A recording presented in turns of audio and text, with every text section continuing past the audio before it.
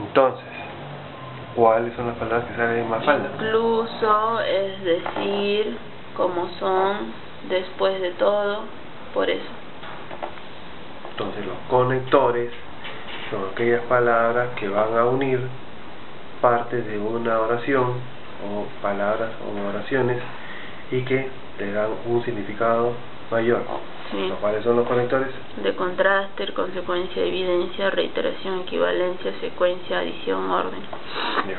¿Qué dice ahí? Abajo. Escribe y corrige de ser necesario el uso de los conectores en el siguiente texto. La calle estaba oscura y desierta, porque yo no tenía miedo. ¿Por qué? Sin embargo, sin embargo, sin embargo yo no tenía miedo.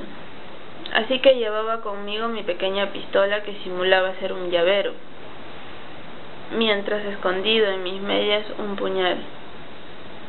También escondido en mis medias un puñal. En otras palabras, sabía que ellos eran unos cobardes. Luego, mis posibilidades de éxito serían inmensas. Más bien, iba a ser el ganador absoluto.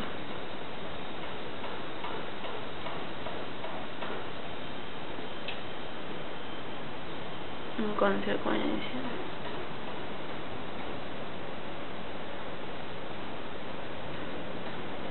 Ya. Entonces ahí te ha señalado las palabras. Cambiar esas palabras de por qué, luego, más bien, y mientras por otras palabras, ¿no? Ya. Completa los espacios.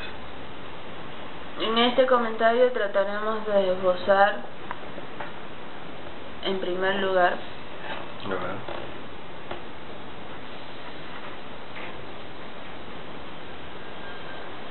alguna de, los, de las funciones que ha venido a cumplir la fiesta del chivo, la que hasta el momento consideramos su mejor novela posterior a la guerra del fin del mundo.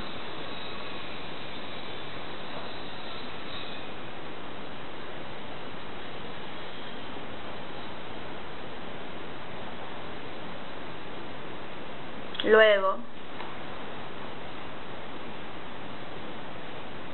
algunas de las líneas del, del cosmos que la preparaba paulatinamente. Sin duda, los libros de un escritor conforman una especie de cosmos personal, en el que cada obra mantiene numerosas relaciones con los demás. Pero cuando se trata de la obra de un creador de la dimensión de Mario Vargas Llosa, es necesario acudir al núcleo creador para aquilatar el rol que cumple cada narración dentro del conjunto. Entonces, a las finales, ¿cómo queda la oración o el párrafo? Bien. No, pues léalo. Allá. En este comentario trataremos de esbozar en primer lugar algunas de las funciones que ha venido a cumplir la fiesta del chivo, la que hasta el momento consideramos su mejor novela, posterior a la guerra del fin del mundo. Luego, algunas de las líneas del cosmos que la preparaban paulatinamente. Sin duda, los libros de un escritor conforman una especie de cosmos personal, en el que cada obra mantiene numerosas relaciones con los demás. Pero cuando se trata de la obra de un creador de la dimensión de Mario, Mario Vargas Llosa, es necesario acudir al núcleo creador para equilatar el rol que cumple cada narración dentro del conjunto. Ya, entonces está ahí armado, ¿no es cierto? Los conectores entonces lo ves.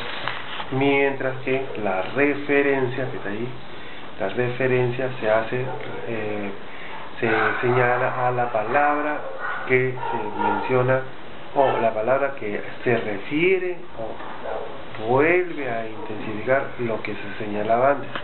Y para eso existen una serie de referencias que son de... La anáfora, la catáfora, la elipsis. Entonces, la anáfora era una palabra que se refería a otra a anterior. una que estaba anterior. La catáfora era... Las que dan los ejemplos. Entonces tú agarras y dices, por ejemplo, dos puntos. Y la otra, la elipsis. Que engloba toda una, un conjunto de palabras. Engloba un conjunto de palabras.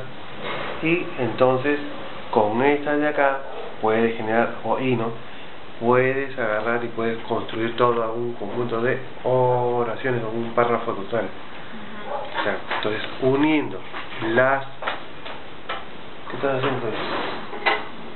Uniendo las referencias con los conectores, los dos ambos, entonces te da todo un armazón para la oración o para el párrafo que quieras hacer. ¿Ves? Une los dos.